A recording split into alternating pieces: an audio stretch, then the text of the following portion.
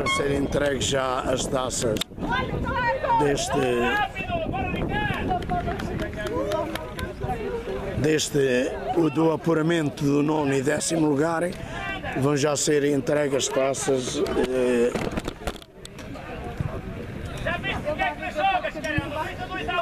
lembro o resultado 6 para Valdas Mós ficou em nono lugar e décimo para a equipe São Facundo que ficou em décimo, portanto em décimo lugar. Décimo e último. Vão ser entregue as taças já deste INCAP do apuramento deste INCAP 2016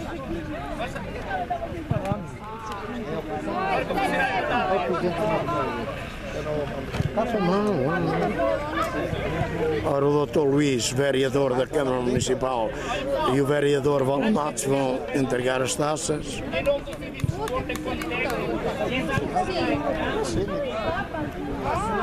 Primeiro, se o vosso comportamento e desejo tudo bom para vocês.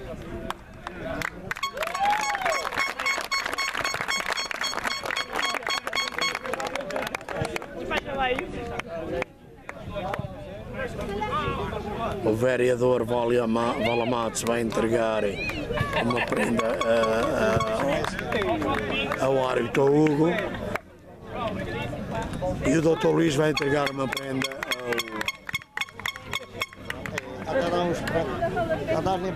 ao, ao João, árbitro assistente.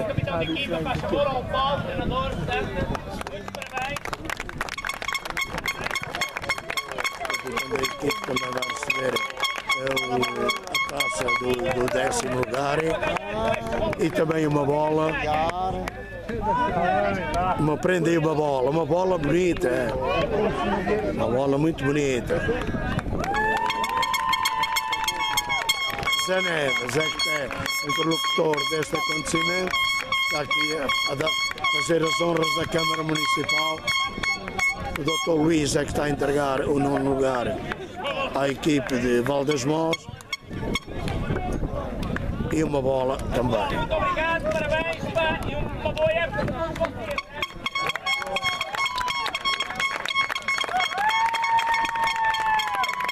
Pronto, terminada eh, esta cerimónia protocolar da entrega dos troféus eh, e, da, e de uma bola às equipes e então terminamos agora sim reportagem deste jogo. Importante. Oh, Luís, já agora aqui para reportagens de Virgílio Loureiro, hoje foi matar o borrego bem morto, é? Hã? Nem sempre nem nunca, não é verdade? Embruxados.